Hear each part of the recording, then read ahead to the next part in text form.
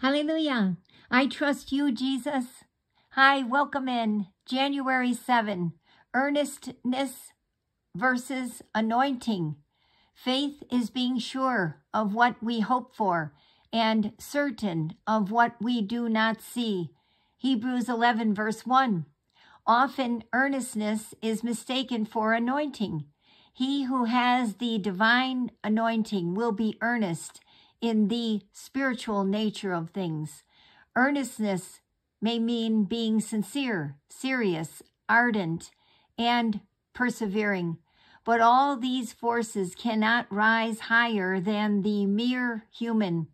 The man is in it, the whole man, but God might not be in it. Earnestness could be selfishness in disguise. What about the anointing? It is the undefinable aspect of preaching which makes it preaching. Anointing is that which distinguishes and separates preaching from all mere human speeches and presentations. It is the divine aspect in preaching. Dear God, when I come to you in prayer, I want to pray selflessly and that by your grace I may receive the anointing of your Holy Spirit.